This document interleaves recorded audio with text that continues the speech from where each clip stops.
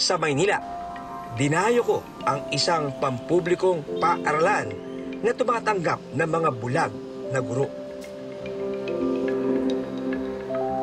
Isa lang si Irish sa tinatayang 50 visually impaired na guro sa bansa. Ang nagsisilbing gabay sa misyon niya, ang kanyang ina. Araw-araw silang lumuluwas mula sa Cavite patungong Maynila para lang makapagturo sa dalawang estudyante. Nabulag si Irish nung siya'y labing dalawang taong gulang dahil sa isang hindi pangkaraniwang karamdaman.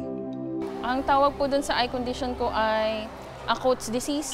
So, isa po siyang rare na condition ng retina kung saan po yung mga nerves po na nag-hold doon po sa retina ng mata natin, para siyang nagkakaroon ng leakage. Tapos yung leakage na yun, siya yung sumisira mismo doon po sa retina. Sa kabila ng dilim, pinilit niyang tuklasin at hanapin ang halaga niya sa mundo. Nagtapos si Irish ng Bachelor of Science in Biology at Master's degree in Special Education.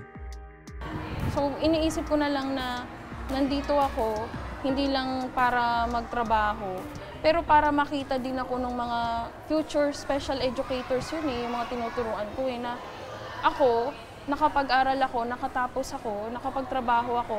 Kaya sana sila, kapag sila ay nagturo na, nakagraduate na at lahat, i-aspire din nila yun dun sa mga ano nila, mag- magiging estudyante nila na hindi lang nila tignan yun na ang tuturuan ko may kapansanan, may special needs. Magandang hapon mga bata.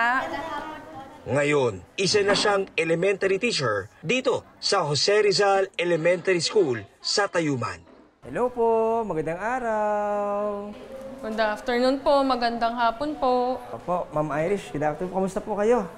Okay naman po. Ah, ano pong ginagawa natin dito ngayon? Ay, yung mga bata po, gumagawa po sila ng activity po nila sa mother tongue.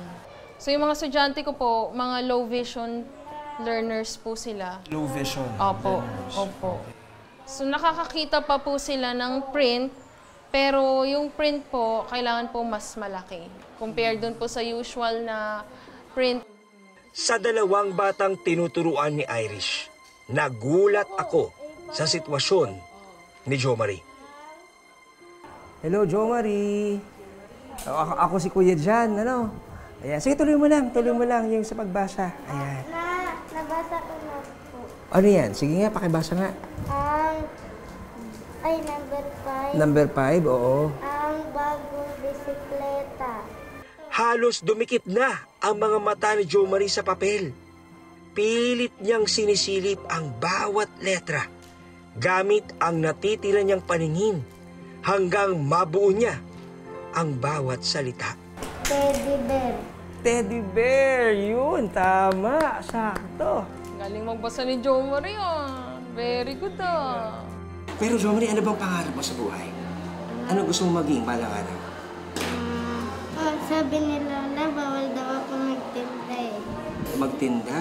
Ah, Bawal magtinda? magilot na lang daw. Mag ano? Magilot po. Maghilot. Okay. Pero ano, ikaw, ano pong gusto mo talagang gawin? Kung ikaw lang ang masusunod, anong gusto mong gawin? Ano ang pangarap mo talaga? Engineer sana po eh. Sa pitong taong pagtuturo ni Irish sa eskwelahan, ang kanyang ina ang nagsisilbi niyang mga mata. Itong mga batang to, mga ila ilang bata na hinahawakan niya, na lahat yun natulungan niya talaga. Napaayos niya yung pagsasalita, pagsusulat, kahit na visually impaired sila. Ah, kinakailangan po ng mga kagamitan gaya ng mga writing guide na kung saan sa ibang bansa pa namin kailangan mabili.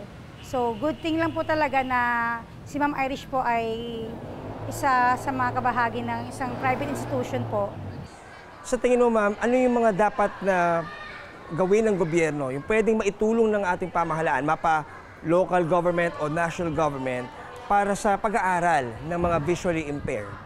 Siguro po yung ano, availability nung appropriate resources para sa kanila. Kasi po, ano eh, ang mga ga- devices, yung mga malalaki pong devices ha, na ginagamit po para mag-create ng mga books nila, nung kanilang mga ah, materials, those are very important but they are very ano eh, ah, expensive.